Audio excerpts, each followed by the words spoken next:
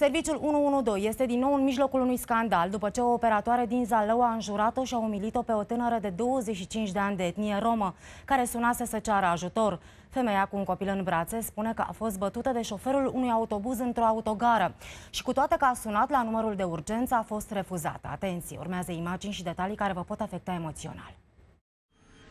Florica Moldovan a sunat la 112 după ce, susține ea, ar fi fost agresată în autogara din Zalău de un șofer de microbuz. Fusese lovită cu un mop, iar victima a cerut operatoarei intervenția poliției, când individul l-ar fi izbit și pe copilul ei. 1-2, ce urgență aveți? Alo, bună ziua, vrea să vină poliția, doamnă, un șofer de aici, mi omorul copilul aici cu mătura.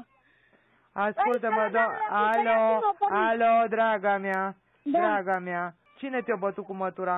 Șoferul ăla și copilul, mi-a lovit copilul, doamna, e aici pe stradă. Femeia care a sunat la 112 susține că era speriată când a cerut ajutor și a încercat să explice cum s-a priceput ce i s-a întâmplat.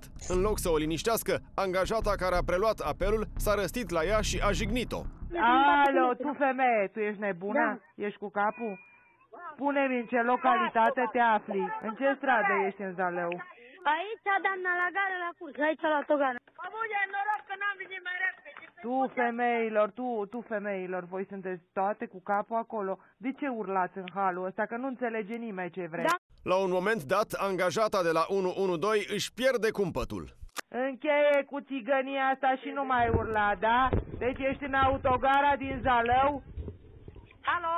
Da, poliția. Femeie, ești în autogara din Zalău? Repet Da, întrebarea. da, Da, da. vorbește la poliție, că vorbiți ca ciorii. Bine că Trăznivar. vorbim. Du-te, drecu.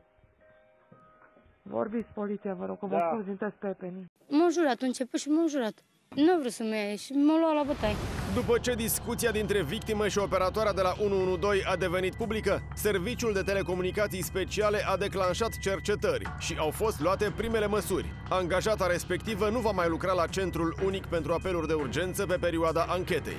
O anchetă are loc și la Inspectoratul de Poliție Sălaj, pentru că apelul a ajuns și în dispeceratul de acolo. Bună ziua, domnul.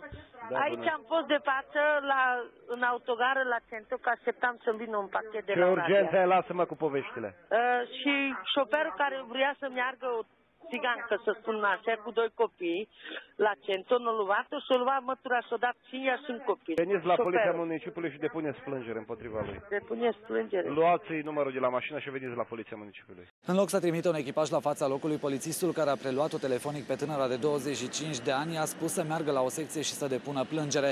Acum și el este cercetat de superior și se verifică dacă a procedat corect în acest caz. Conducerea unității a dispus, prin compartimentul control intern, efectuarea de verificări, urmând ca la finalizarea acestora să se dispună măsuri în consecință.